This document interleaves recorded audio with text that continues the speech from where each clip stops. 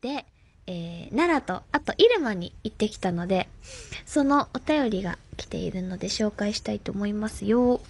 えー、ラジオネーム、小物二世さんからいただきました。ありがとうございます。かなちゃんこんばんは。こんばんは。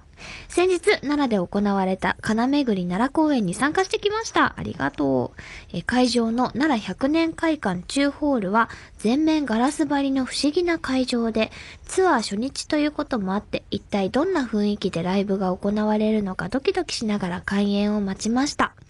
ライブが始まると、照明の演出がとても目まぐるしく綺麗にステージを照らし、アコースティックの音に乗せてしっとり歌い上げるかなちゃんが本当に輝いて見えて、すぐに、ああ、ここは素敵な会場だなと思いました。今回はアコースティックライブ、しかも朗読もあるということで、これはもしや念願のあの曲が聴けるのではないかとかなり期待していましたが、照明が落ちたステージがゆっくりと桜色のライトで照らし出され、花びらの前奏が流れてきた時には、もうそれだけで泣きそうになりました。ライブ初披露の瞬間に立ち会えて本当に良かったです。朗読パートでは可愛い女の子やちょっと意地悪な男性など複数の人物を見事に演じ分ける姿が間近で見られて、ああ、やっぱり声優さんはすごいんだなぁと改めて思いました。MC でもご当地トークなどでかなりリラックスした様子で、客席の地元の人と時にキレのあるツッコミを入れて会話されていたりと楽しそうなかなちゃんが見られてよかったです。本編では座ってしっとり、アンコールでは大盛り上がりで2時間があっという間に過ぎてしまいました。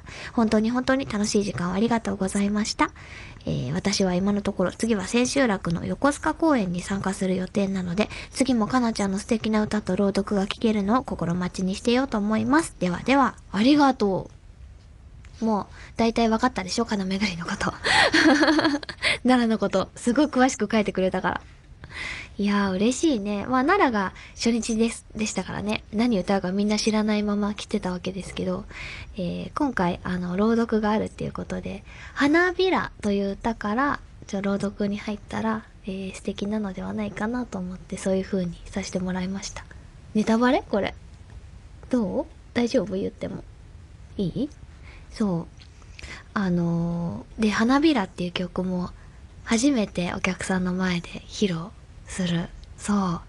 えー、ということで、ちょっと緊張しましたけど。いや、でも、本当にね、素敵な会場だったんですよ。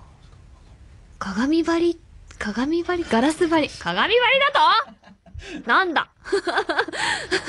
どういうところだ、そこは？えっとね、ガラス張り。あの、ガラス張りってもね、あの、ステージがあって、客席があって、その後ろが、えー、扉になっているところがガラスになってたっていう。そう、外が見えるの。ステージからも、お客さんからも。そう、後ろ向けばね。